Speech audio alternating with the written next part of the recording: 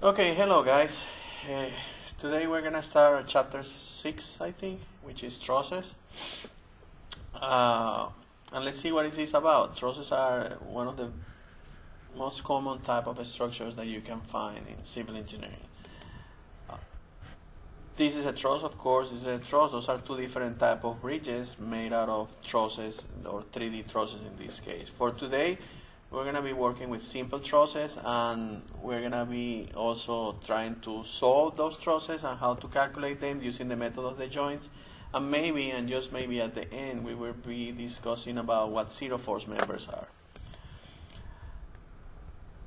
Applications, well, every time that you see a big storage, a big deposit, a big uh, supermarket, if you go to the roof, usually we don't see to the roof. But if you look if you look at to the roof you're going to see these type of structures. You see these type of structures made out of these elements and those are the ones that are actually holding the whole roof of the structure.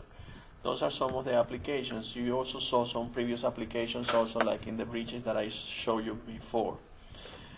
More applications like that crane. Now in this case you have trusses in 3D and you have cranes and you have frames of aircrafts or space station.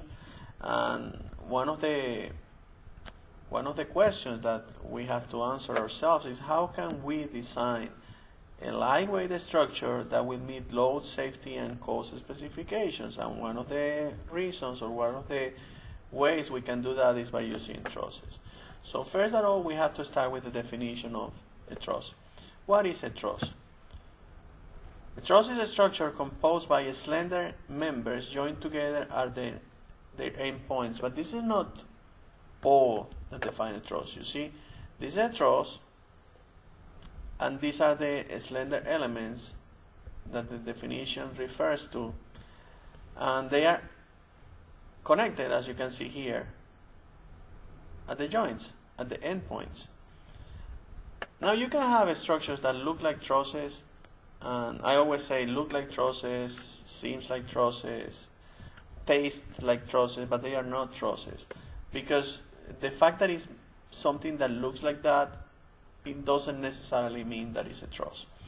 They have to, uh, we have to have several conditions for a truss actually to be a truss.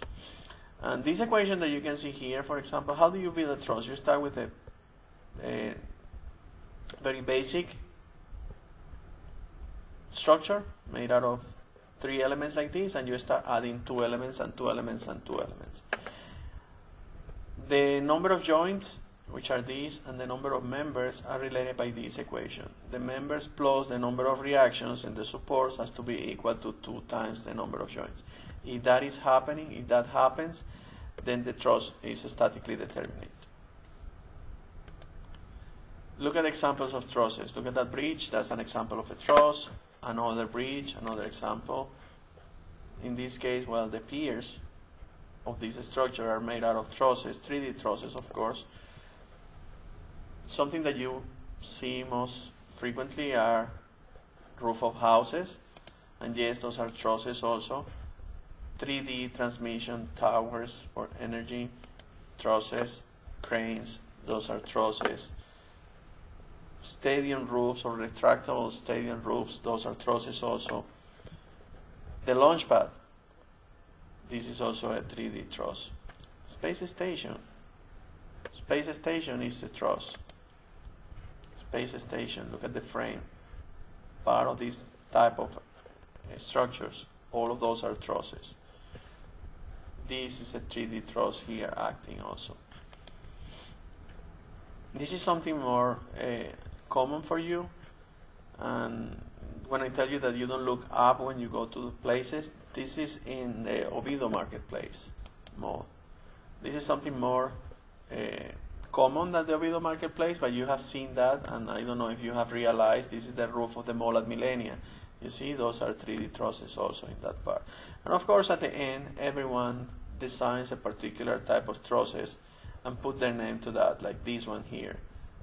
No, that's, that's not true. This is called a traverse bent truss. And of course, you have cases like trusses gone wild. like happened with this one, and the song there can remind you when was that. This is what happened. It was just exactly before the concert of Justin Timberlake in August 8, 2003. Look at this case here. All the trusses in the roof of the houses collapsed. And apparently, the cause of that was mainly to the connections here with the trusses. This is the Quebec Bridge. It says that it was 20 years in the making and, and it collapsed immediately after it was open.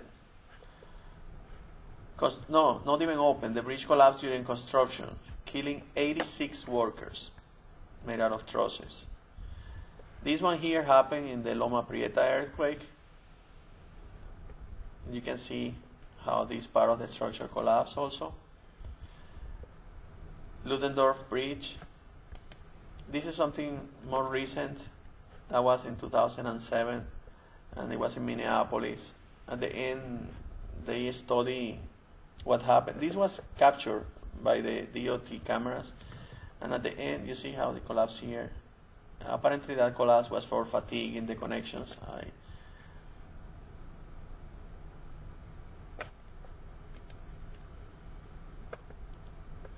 another of the stages, this one in Toronto, Radiohead, and that was in 2012 in June. So, but that doesn't mean that the trusses are a bad uh, mechanism. The only thing that it means is that somehow uh, there were situations that escaped the control of the people that were designing those trusses. Now look at these trusses. Those are I, I call these uh, these uh, section trusses on asteroid because they are really big trusses. This is White River State Park, 700 foot Indiana Tower. Of course, the Eiffel Tower trusses also. This is not that big of a structure. It just happened that I, I was there and I liked it. This is the Rogers Center retractable roof, Toronto also, trusses. Tokyo Sky Tree, 634 meters. Um, the name in Japanese is called Musashi, which means 634, and that's why they wanted to go up to that. But 634 meters, I want you to check the magnitude of that type of structure. How big is that? And look at this structure. This is not an asteroid, actually, but I just brought it because uh, that's a 3D truss, but actually look at the size of that 3D truss. Those are called nano trusses. And those are using like really strong but ultra light materials and they form nano trusses and the procedure for nano trusses you know what nano means right we are talking about in the order of 10 to the negative 9 meters in this particular example So, and also you have applications like games for trusses. Like, I'm not making any advertising for any game in particular, but this Cargo Bridge game is a nice game. Uh, you really get hooked with that game. And once you use that game, I'm not gonna play it, okay? And I don't even know what is I have here in, in advertising, but when you start the game, it's really nice because you start and you select the level that you are at and start really easy. What you have to do is build a bridge truss from here to here and in order to do that you have certain amount of money and certain type of materials. These are the wood connectors and these are the woodwork. This is a nice example because you start with these, let's say, um, and you do a really nice small truss here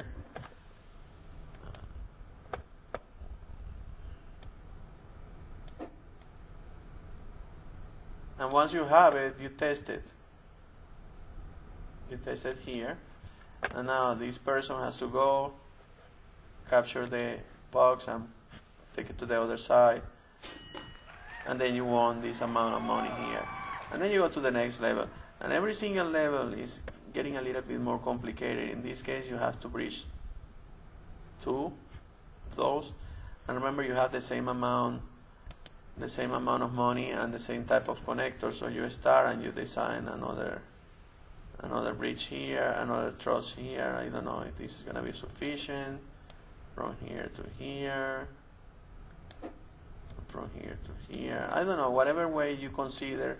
And I can guarantee you that you're going to have a lot of collapses here.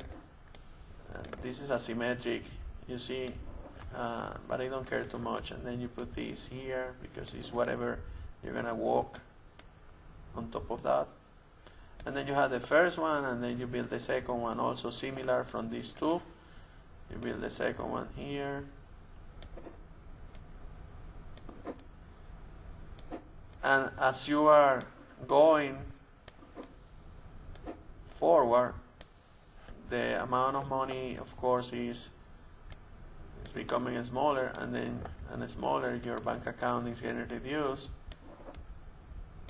And then you have there and you don't have anything else and you say oops what happened here? I don't know. Look at that thing how frail it is in that part.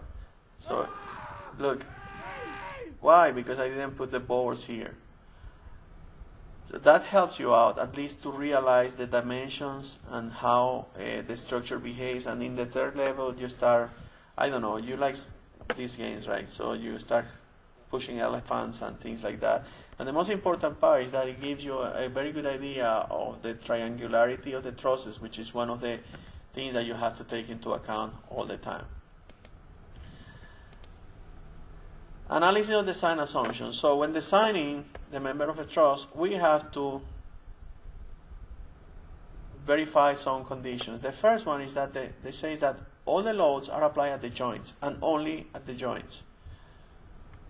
And the self weight of the truss is often neglected, which is not true, but at least it's not considered self distributed. The self weight of the truss is also placed on the joints. And, but how do you do that? Because usually what you have is this you have a couple of columns here and a truss, and then you re- replicate this in the other side also, and then you put the roof on top of that. Usually, what is the, the, the, the, highest load that this type of construction can have, one of the most important ones at least, is the wind. So, whenever you have the wind, the wind is blowing here in this part. But when that happens, don't tell me that this force with the pressure of the wind distributed over this plank is transmitted to the joints. Actually, is transmitted everywhere along the truss. So then we are not complying with one of the conditions for the truss. How do you do that?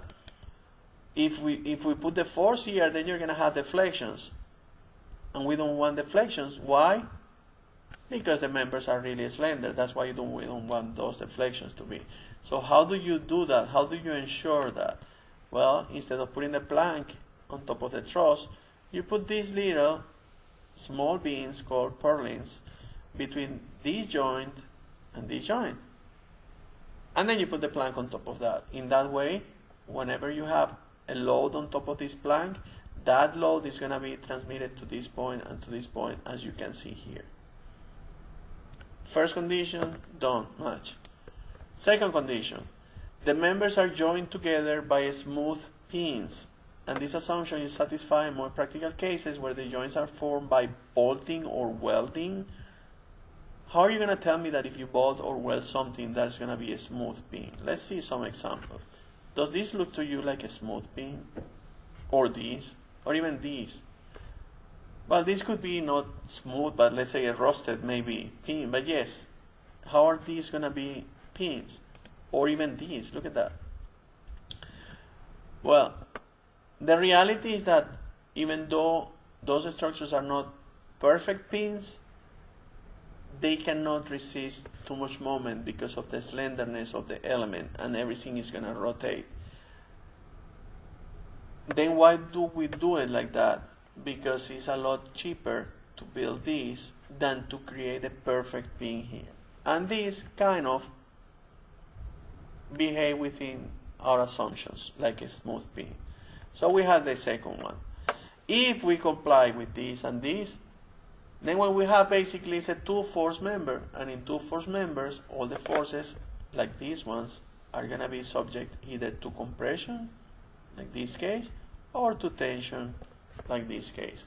And that's really important because if you have those elements are slender, so you have that element that is slender. If you bend it, it's going to bend really easy.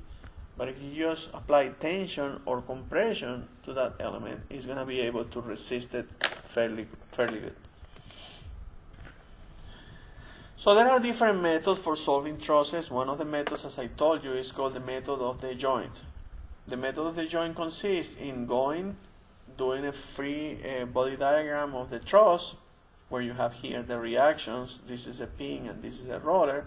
And then you start isolating joint by joint and putting all the forces that are applied to that joint. For example, the joint B, this is an example of joint B. In joint B, you have one force, tension or compression. In this case, you say tension, but you don't know for sure until you do it. You have a force here and a force here, which are these two. Those are the internal forces in the bars. And then you have this external force applied here. What we are doing basically when we work with uh, trusses and 2D trusses is that we are dealing with uh, particle equilibrium. And as you know, or you should know by now, when you do particle equilibrium, you, this, you have two equations that you can use. Those equations are summation of forces in x and summation of forces in y. Those are the two main equations that you have. That means that by solving a truss by the method of the joints, I can have up to a maximum of two unknowns in that joint. One unknown, two unknown. How do I do that? Summation of forces in x equals 0, summation of forces in y equals 0, and I can solve for that problem. So a step for the analysis, if the support reactions are not given and they are needed in the calculation, and what do I mean when they are needed? I'm going to show you later in the, in the example. Then you can calculate them. But how do you calculate them? By doing external summation of forces and external summation of moments, like we did in equilibrium or rigid bodies. Now you draw a free body diagram of the joints with a maximum of two unknowns. And you start doing summation of forces in x and y, like equilibrium in that joint, and you solve it. Let's do this example, and I'm going to switch to camera document because it's going to be not I'm going to say easier, but you're going to follow it better if I use camera document here. So let's say that you have uh, these truss, and in these truss, basically,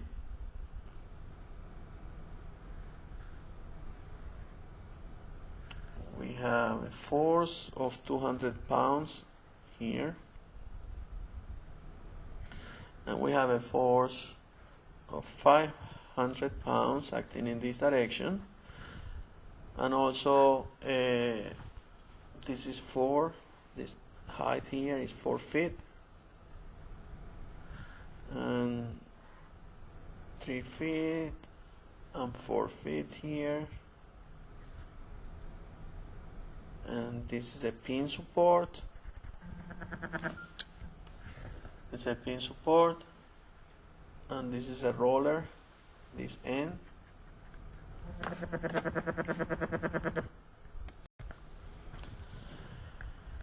And uh, we have to find, find, this is what we are asked to do, find forces in each member. Okay, First thing that we have to do is, or first thing that we want to do maybe, is do the free body diagram of this structure. And if you start, you can put here your reactions. This is a pin support. If it's a pin support, means that I'm going to have one force here. If I call this A, B, and C, this here is going to be AY and then I'm gonna have a force here which is gonna be AX and this is a roller so it's going to have only one reaction perpendicular to the surface of the roller and this is cy now uh, I can actually start solving this problem without calculating the reactions. I can calculate the reactions if I want to uh, I, it's not that I need them but let's do it and I'm going to tell you why I can do it without the reactions later. Let's do summation of moments at A equals 0 and I'm gonna uh, say this is the positive moment for my convention. So if I do summation of moments here at this point let's start with this force here. This is gonna be in this direction cy times 7 and you know it's coming in this direction. That's why I put it positive and this force here is gonna be 200 force is vertical the distance has to be horizontal times 3 and if this is pin here and I apply the force like this the rotation is going to happen in this direction. And that direction is opposite to this one so it's going to be negative. And same with this one. This one if I pull it in this direction it's going to rotate also uh, clockwise and I say counterclockwise is positive so this is going to be negative 500 times the height which is 4 and that's equal to 0. From here we can calculate Cy from that uh, equation. I don't know if I have the values here for Cy, but it doesn't matter if I have them or I don't. I don't even have a calculator with me now.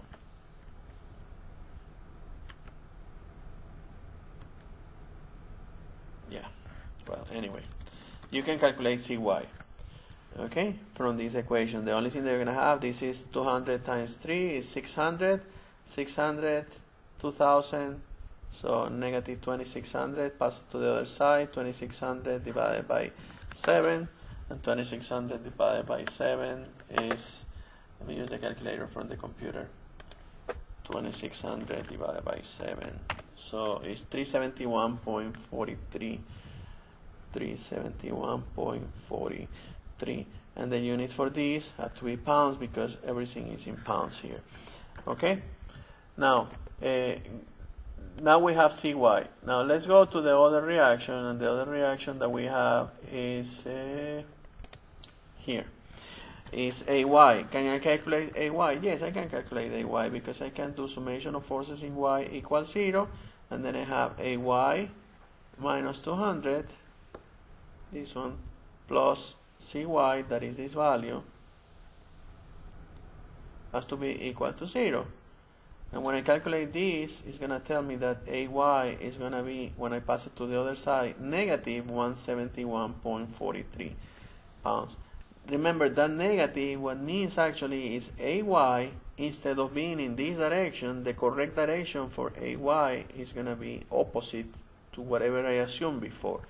So that means that AY is going to be 171.43, but the joint A, which is this one, and the force is going to be acting in this direction, and this is pounds.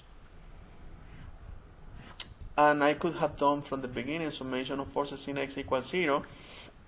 And if I do summation of forces in x equals 0 from the beginning, what I'm going to get here is what?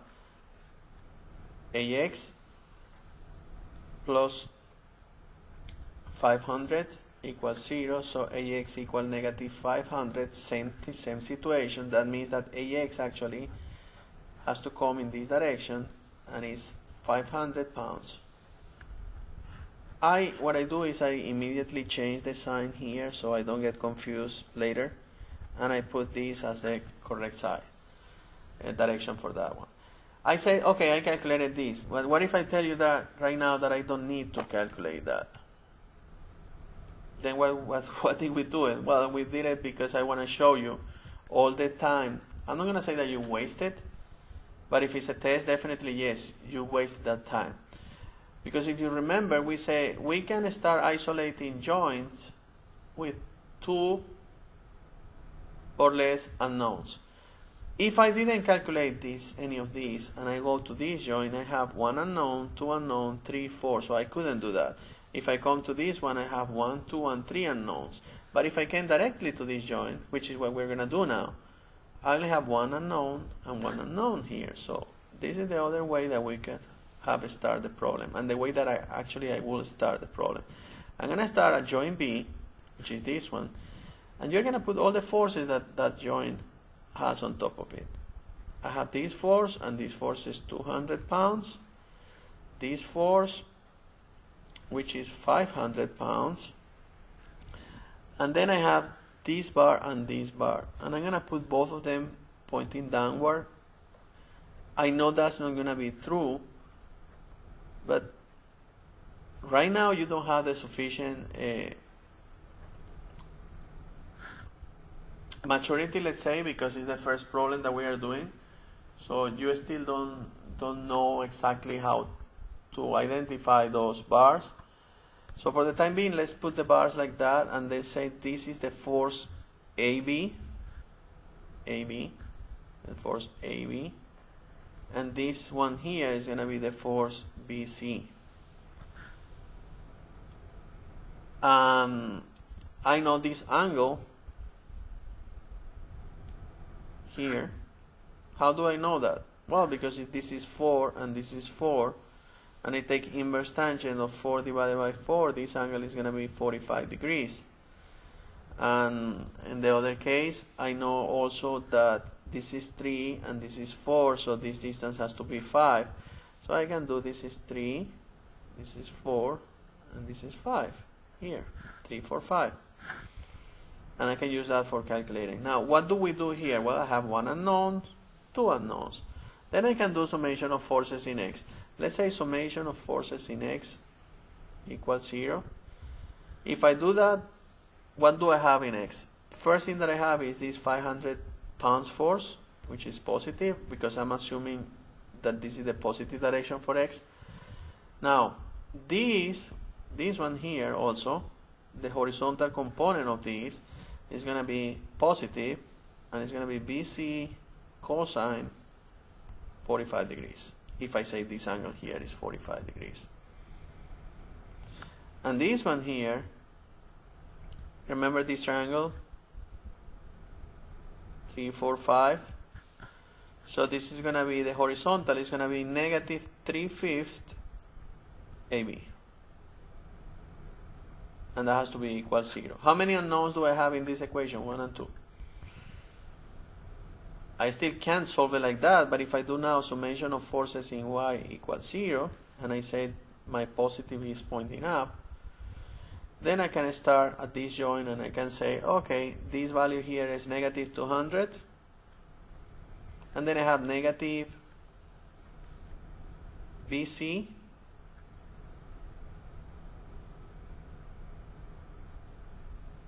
if I say this is the angle, this is going to be sine 45 negative AB times 4 fifths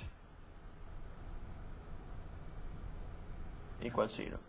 And now you solve the system. How do you solve the system? It's up to you. Uh, but by solving the system, by solving the system, then you can calculate, and then you have that BA is going to be 214 pounds.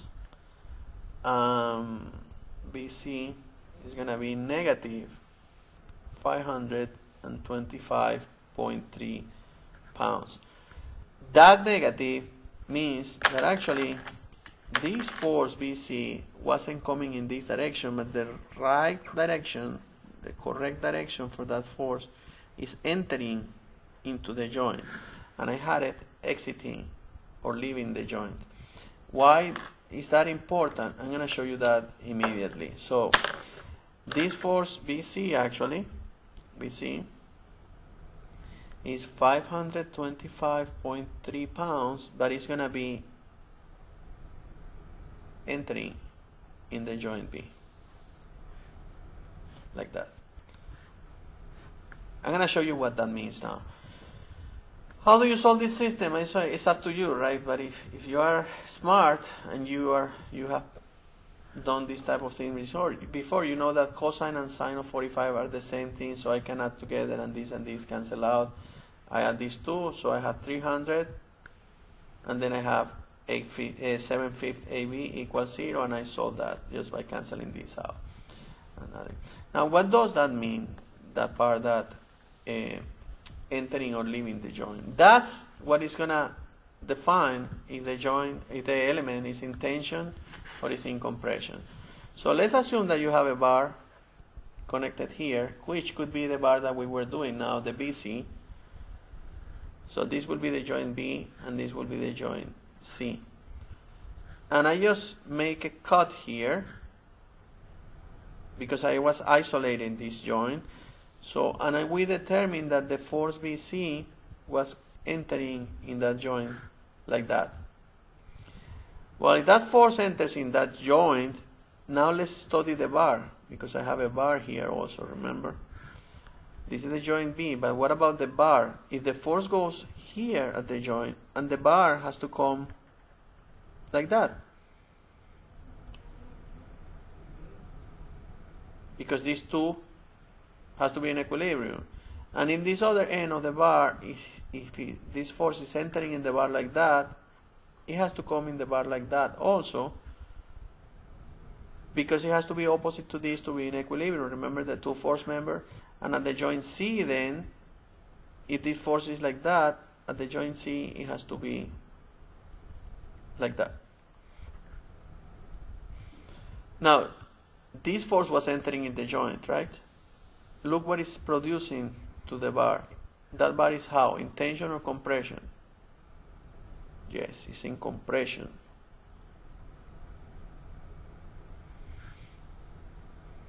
And if you have the other situation, let's say that you have a completely unrelated problem, and this is not joint B and C, let's say this is K and L joint. And let's assume that when I calculated, I, I found that the force in the joint K was in this direction. Well, if the joint in, in this direction is there, that means that in the in the other end of the bar, the force has to come in this direction, and the other end, the force has to come in this direction, and in the other joint here has to come in this direction and look at what is happening in this bar. This is tension. You know, you don't have to do this analysis every time that you you are solving a problem. But what is important to get from here is whenever you have a force entering in one joint, it's also going to be entering in the other joint connected to it. And the bar is going to be subject to compression.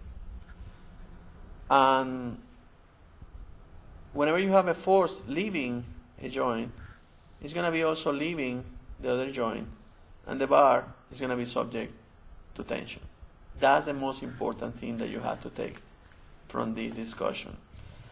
Now, going back to this problem that we had here, this force, AB, is leaving the joint. If it's leaving the joint, if it's leaving the joint like that, exiting the joint, the bar is subject to tension. Then I'm going to put here tension. And the force B was entering in the joint. And as we discussed here, whenever you have a force entering in that joint, the bar is going to be subject to compression. So this is going to be then compression in that part. Okay, now we calculated this one and this one. Let's assume that we didn't do this. Then I could move either to this one or to this one. Let's say if I move to this one, I wouldn't know still this or this, so two unknowns and three unknowns. I couldn't do this, but I can come to this one. How? Because if I come to this one, my only two unknowns will be this and this. In reality, I know this because I calculated, but I'm, I'm saying just imagine that we didn't calculate it before. Okay, let's go to the joint C. If I go to joint C,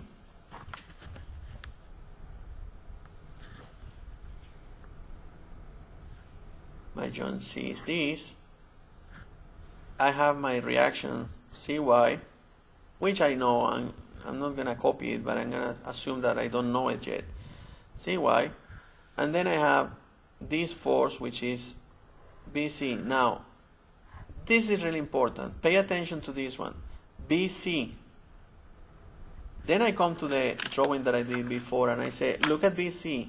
BC is entering to the joint B. That means that that force BC must be also entering at the other joint connected to that bar, which is the joint C. And that's what we're going to do. So that force BC, I know the value, I just calculated, and it's 525.3 pounds.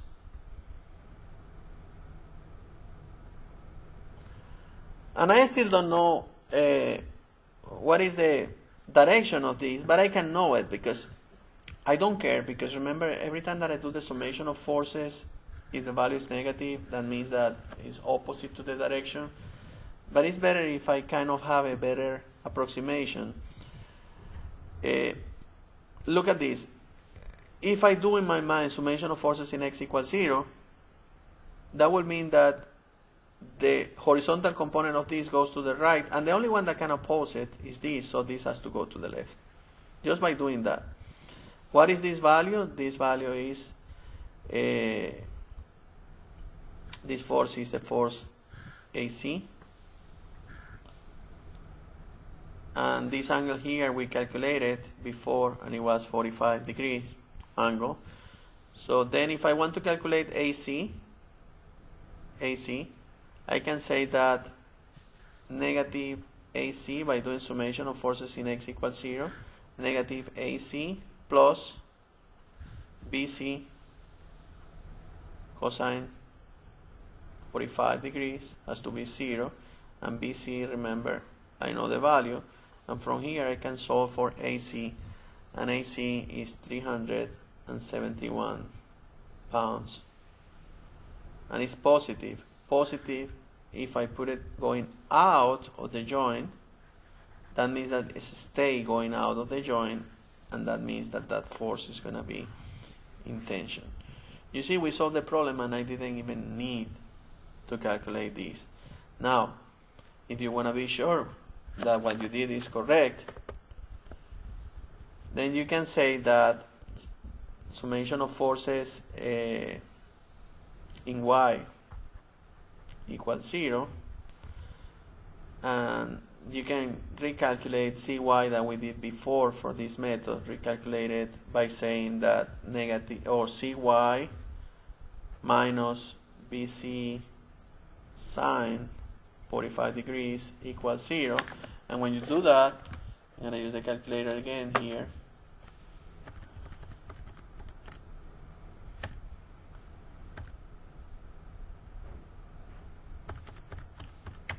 We get that CY is 371.43 which is probably this value also here the same value yeah 0.43 this is just rounded up pounds so you see this value and this value are the same that means that I just corroborated the same calculation in two different ways at the end the problem wasn't asking us for this value or for this value the only thing that we wanted to calculate is these three bars, the forces in those three bars.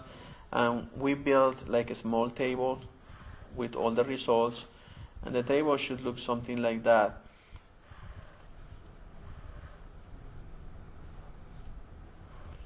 Here, the value of the force, like VA, the, the name of the force, the value, and if it's tension or compression. This is the first force that we calculated.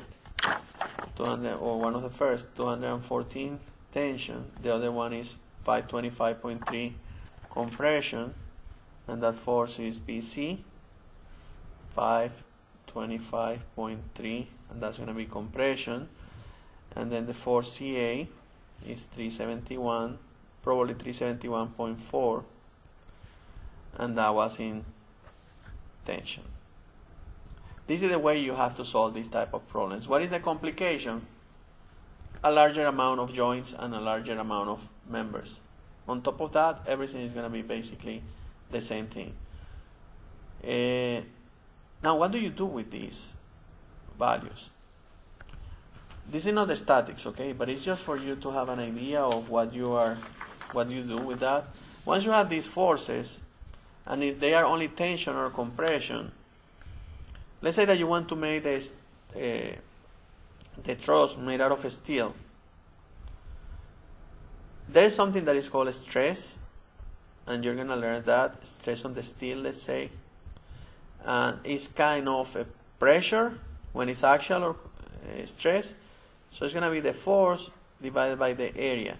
This value, it depends on the type of material. This is a value that is obtained in the lab, and, but it's more or less constant for the same type of material. It could be 50 ksi, for example, 65 ksi, 35 ksi, depending what type of steel we're using. But you know this value. And we just calculated this one. So we solve for area. In that way, I can calculate the area of each one of the bars of this truss. These P are these values, and these depends on the material that I'm using. And what is the area? The cross-sectional area of those bars. What do we do now? Well, depends. You can make, you can build them if you want to, or if you are making out of steel or aluminum, then you go to the manuals, and in the manuals you're gonna have different type of sections, different type of sections.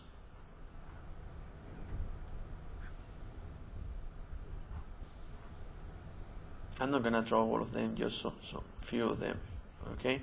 But you're gonna have different type of these type of sections with different areas that they are commercially available. You just select them and then optimize your design.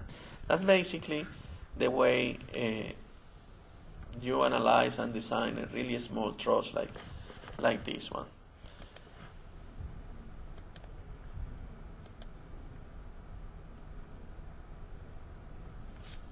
Okay, uh, I think that's sufficient for today.